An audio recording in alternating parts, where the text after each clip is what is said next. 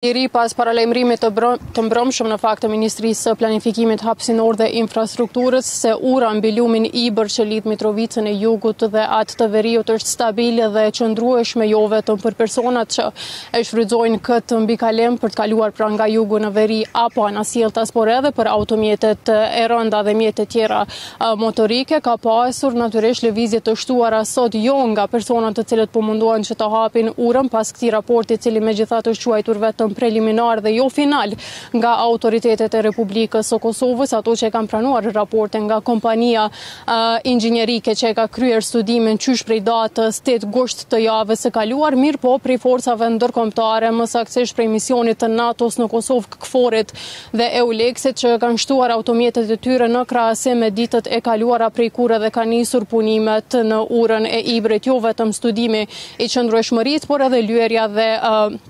rregullimet e tjera që i janë bërë kësaj ure. Përveç kësaj, për dallim prej ditëve të kaluara, gjatë mëngjesit të sotëm, pra pak para orës 10 të mëngjesit, ekipet e KFOR-it, do të thotë njësia e tyre për asgjësimin e mjeteve shpërthyese ka ardhur këtu me dy autoblinda dhe me qenët e tyre të njësisë K9 për të shikuar dhe për të patrulluar në pjesën që po e shihni tani në pamje pra poshtë urës së Ibrit në të dyja anët e urës, megjithatë edhe pse në fakt na kanë lutur që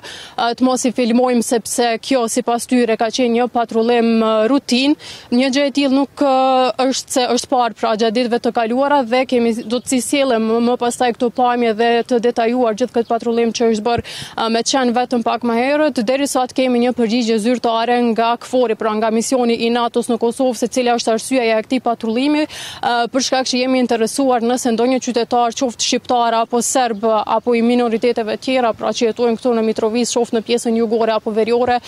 Ka lajmëruar autoritetet, qoftë policinë e Kosovës, KFOR-in apo EULEX-in në këtë rast se mund të ketë ndonjë mjet shpërthyese apo diçka me rrezik dhe vetëm pasi ka përfunduar pra ka zgjatur rreth një orë patrullimi me njësinë e qenëve K9, ura e Ibrit poshtë është inspektuar pastaj edhe nga persona të, të institucioneve të sigurisë së Republikës së Kosovës, jo edhe nga EULEX-i. Ky patrullim i shtuar i KFOR-it gjatë mëngjesit të sotëm vjen vetëm pas takimit të mbrëmshëm që kryeministri i Republikës, Albin Kurti ka pasur me komandantin e KFOR-it, Ozkan Ulutash, të cilin takim pra e ka cilësuar si takim në vazhdë të atyre të intenzive dhe të rregulltave mes qeverisë, KFOR-it dhe institucioneve tjera të sigurisë, duke qenë se Aty ka marrë pjesë dhe zëvendësdrejtori i Policisë krahas ministrave tjerë përcjellës vartës të kryeministrit Kurti, ku temë kryesore përveç zjarreve ku është përmendur që kanë kapluar disa vende të Republikës tash është pikërisht hapja e urës së Ibrit që sipas qeverisë së Kosovës duhet të hapet ngaqë sundimi i ligjit dhe lëvizja e lirë mund të shkojnë krahas sigurisë dhe stabilitetit të qytetarëve çka Është e kundërt me mendimin aktual të KFOR-it që vazhdon të mendojë dhe ka qëndrim të cilin e ka shprehur edhe mbrëmë goxha vonë natën se ura duhet të hapet vetëm pas dialogut politik dhe se KFOR-i e përkrah dialogun politik i cili zhvillohet mes Republikës së Kosovës dhe Serbisë në kryeqendrën e Belgjikës, pra në Bruksel dhe po ashtu ka edhe një lajmërim, një komunikatë tjetër prej Departamentit Amerikan të Shtetit, të cilët nuk e mbështesin ndryshimin e statusit të urës aktual, pra kalimit nga vend ku mund të kalojnë qytetarët edhe automjetet dhe të lejohet qarkullimi i automjeteve pa dialogun politik të cilin gjatë pasdites së djeshme e ka përmendur po ashtu edhe ambasadori amerikan. Vlen të përmendet se po raportojmë më 14 gusht, pra në datën kur vetë presidenti i Serbisë Aleksandër Vuçiq gjatë një konference të kësaj të dielës së fundit në fakt kishte paralajmëruar se do të hapet ura e Ibrit, ka prezencë të shtuar edhe të mediave serbe tek ky masiv i, i betonizuar mbrapa nesh, mirëpo nuk ka ndonjë veprim nga autoritetet që kanë paralajmëruar hapjen e saj,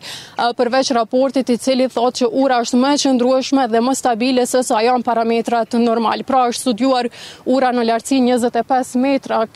mbi lumin Ibër dhe është vërtetuar se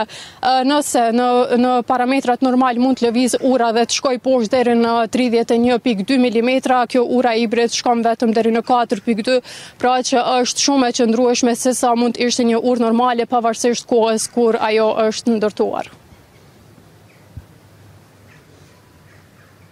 Faleminderit shumë Rina për këtë lidhje direkte. Se ura e Ibrit duhet të hapet e ripërsëriti edhe sot kryeministri Albin